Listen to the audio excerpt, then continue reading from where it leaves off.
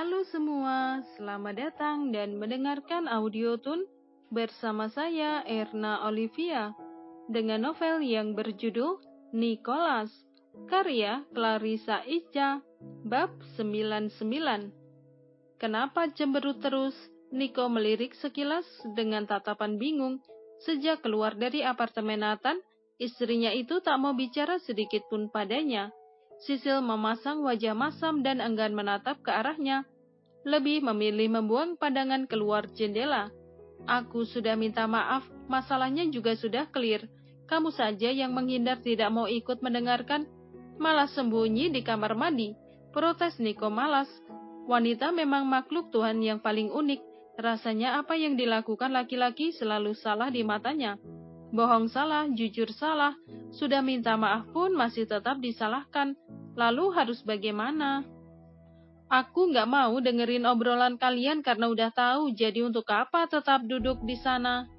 Hanya membuatku kesal saja, Sisil menjawab dengan suara geram.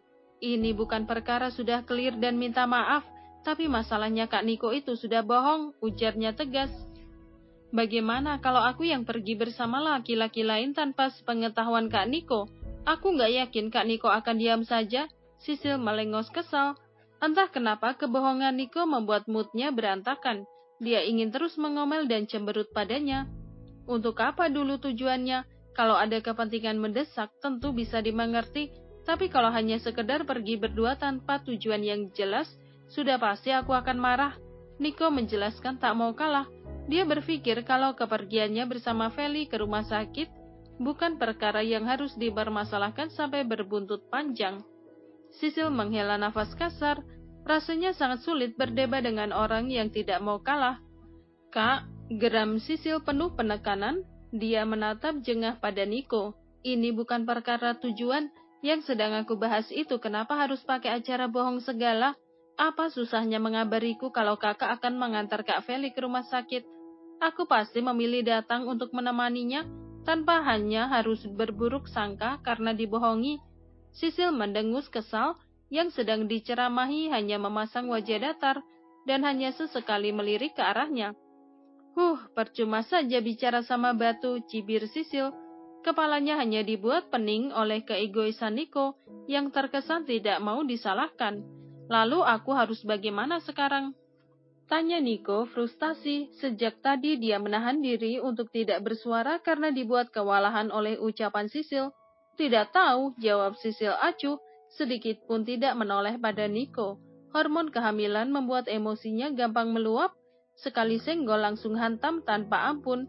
Ayolah Priscilla, jangan seperti ini. Aku tidak akan membohongimu lagi, pinta Niko memohon.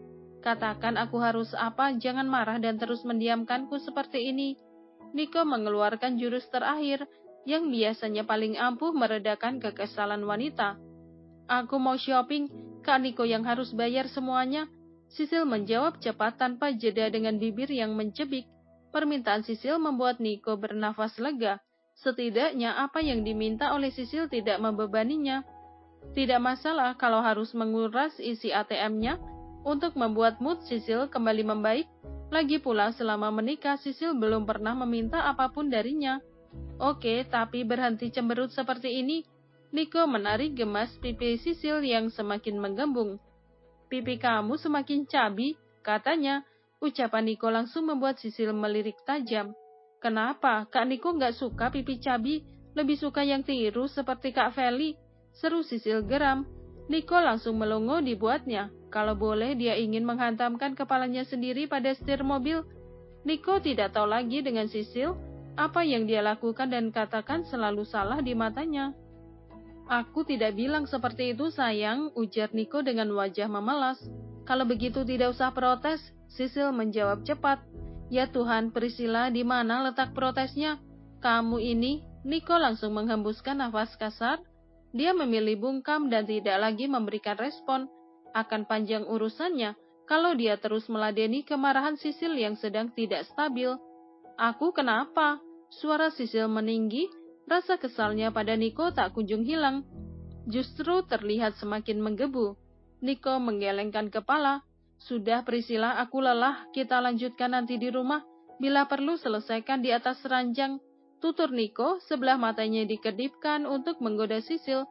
Sayangnya nasib baik belum juga berpihak pada Niko. Dia langsung mendapat tinjuan di lengan kirinya. Dasar menyebalkan, cibir Sisil. Niko mengikuti langkah Sisil, istrinya itu terus memasuki satu persatu toko barang branded dan membeli banyak barang di setiap toko yang dia datangi. Niko yang awalnya diam dan santai kini mulai gelagapan karena isi ATM-nya terus terkuras. Tak hanya itu saja, Niko juga dibuat kewalahan dengan barang-barang yang harus dia bawa seorang diri. Sudah lebih dari 10 paper bag yang dia bawa di kedua tangannya. Sisil membeli beberapa pasang sepatu, tas, baju, dan jam tangan. Dia membeli 3 sampai 4 item setiap jenis produk. Bagaimana tangan Niko tidak penuh dengan paper bag? Apa kamu tidak berniat membeli satu toko beserta isinya? Tanya Niko menyindir. Sisil berbalik badan dengan senyum yang mengembang. Ide bagus, apa uang Kak Niko cukup? Sisil justru semakin menantang Niko. Dia tahu kalau Niko sedang menyindirnya, tapi dijadikan peluang oleh Sisil untuk mengerjai Niko. Kamu pikir aku tidak punya uang? Aku akan mempertimbangkannya lagi kalau setelah melewati sesi pertarungan di atas ranjang. Jawaban Niko membuat Sisil melengos. Kalau sudah berulang kali membahas tentang ranjang, sudah pasti Niko akan terus mencecarnya sampai keinginannya bisa terwujud. Niko terkekeh geli, dia kembali mengikuti langkah Sisil yang entah mau ke mana lagi. Aku mau es krim kak, Sisil tiba-tiba berbalik badan dan merengek minta es krim pada Niko. Mau es krim itu? Sisil menunjuk kedai es krim Singapura yang cukup ramai. Kak Niko yang beli aku tunggu di sini, Sisil langsung duduk di salah satu kursi panjang. Kamu membuatku gila, Niko mengeluh, tapi tidak memberikan protes karena tidak mau berbuntut panjang. Dia meletakkan semua paper bag di sisi kursi yang diduduki oleh Sisil. Tunggu di sini, jangan ke mana-mana, pinta Niko sebelum dia pergi ke kedai es krim. Siap bos, Sisil memberikan hormat dengan seulas senyum penuh kepuasan. Hari ini dia sudah cukup puas membuat Niko frustasi dan kewalahan. Boleh ikut duduk di sini? Seorang wanita dewasa menghampiri Sisil, senyumnya yang ramah menghiasi wajah cantiknya yang alami. Sisil mendongak menatapnya tanpa berpikir panjang. Dia langsung memberikan izin pada wanita itu untuk duduk di sebelahnya. Silahkan, jawab Sisil tak kalah ramah. Terima kasih. Wanita itu kembali tersenyum dan duduk di samping Sisil Sejak tadi pandangan matanya terus tertuju pada perut Sisil yang terlihat membuncit. Kamu sedang hamil? Tanyanya ragu, Sisil mengangguk cepat. Iya, jawabnya. Berapa bulan? Wanita itu kembali bertanya. Sisil menatap heran, sedikit menaruh curiga, karena dia terus mengajukan pertanyaan. Namun karena pembawaan wanita itu yang terlihat ramah, Sisil jadi berpikir positif. Jalan lima bulan, sahut Sisil cepat. Kakak juga sedang hamil, tanya Sisil hati-hati dia tidak tahu dugaannya benar atau tidak. Tetapi melihat tangan wanita itu yang terus memegangi perut, Sisil jadi berpikir kalau wanita itu juga sedang mengandung. Iya, baru empat minggu, dia menjawab dengan mata berbinar. Perutku pasti akan seperti itu juga, gumamnya sambil terkekeh kecil. Tentu saja perut akan semakin membesar seiring bertambahnya usia kehamilan. Balas Sisil sopan. Sayang, ini es krimnya. Niko datang, dia langsung menyodorkan es krim pada Sisil. Cepat sekali, bukankah di sana masih ramai? Sisil menerima es krim dari tangan Niko, namun manik matanya melirik kedai yang masih dikerubungi oleh pembeli. Ada Kak Bara di antrian paling depan, aku menyuruhnya untuk memesankan satu, jawab Niko. Bara Opa, di mana dia? Kenapa tidak ikut ke sini? Sisil celingukan mencari sosok kakaknya yang sudah beberapa minggu tidak dia temui. Dia bilang akan bertemu klien jadi hanya menitipkan salam untukmu. Penjelasan Niko hanya ditanggapi dengan anggukan oleh Sisil. Ya, halo, Sisil menoleh saat wanita di sampingnya sedang menerima telepon. Lantai bawah, tapi aku masih... Perempuan itu tidak meneruskan ucapannya. Dia terlihat serius mendengarkan seseorang yang tengah bicara lewat telepon. Ya, aku turun sekarang, jangan khawatir, aku akan hati-hati.